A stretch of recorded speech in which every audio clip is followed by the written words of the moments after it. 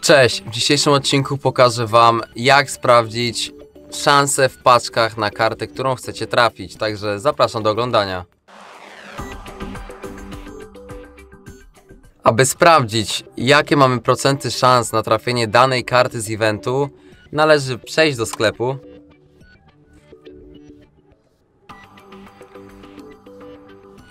Następnie wejść w paczki promocyjne i kliknąć Q bądź inny napis na dole co wam pisze.